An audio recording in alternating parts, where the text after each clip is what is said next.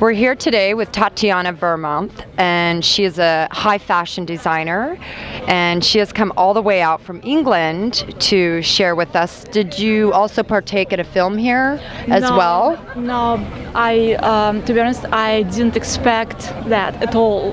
My friend invited me here, so we're just enjoying uh, watching films, learning, uh, observing, and that's just the most fabulous experience.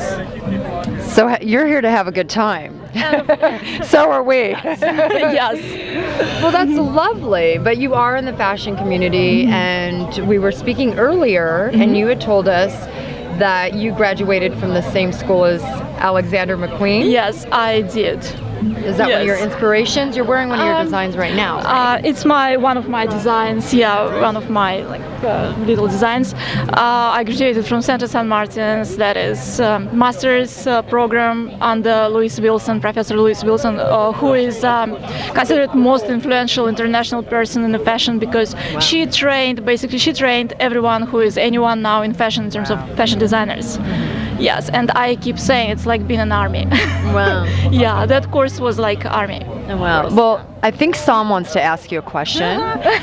How long have you been designing for yourself under your name? Um, I had my own label uh, after graduation. I had my own label for about two years, and I had a slot um, for Paris Fashion Week, and it really ca- caught up really quickly. But then, unfortunately, I had to, for personal reasons, I had to stop it and go. And I went and worked as a freelancer for companies and for other labels, for other companies. All the while, of course, I kept doing something like uh, doing trunk shows, private shows, fashion shows in uh, clubs, promoting it, but mostly keeping it really kind of exclusive and for invited people. That, that was quite successful. But now I'm thinking of moving to Los Angeles actually and starting. Wow. starting again. yes. I live in LA. Oh, you live in LA. I say come to Lala.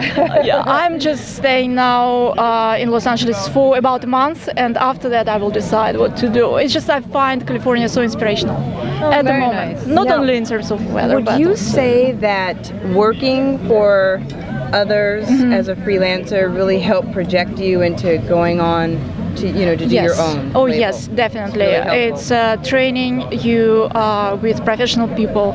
Uh, with uh, you learn um, business side of um, of um, creative process because as a creative, as a fashion designer, it's so easy to be actually to, to to concentrate on a creative process and then you totally forget about uh, anything else and as well you can get carried on and just forget about um, practical things Bit forget of a about butterfly. you have to keep your feet on the ground as well and this is this help and of course it's great training as well Wow. So you've been in, in business for yourself for how long? uh, now for several years but i'm starting all over again now from a new because i want to do a little bit different i, I want to now to develop a little bit different things. Wonderful. We're going to have to wrap it up right now. Thank you. And thank you for coming by thank and you very with us. much thank you